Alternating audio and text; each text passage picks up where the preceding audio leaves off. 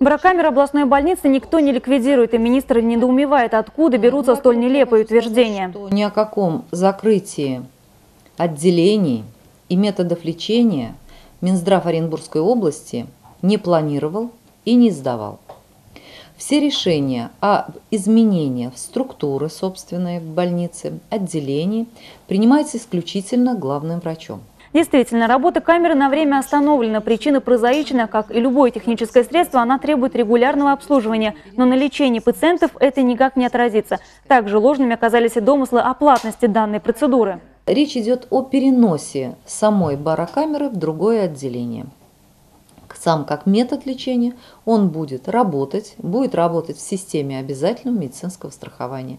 И ни о каком взимании денег с больных первой областной больницы за лечение в барокамере взиматься не будет.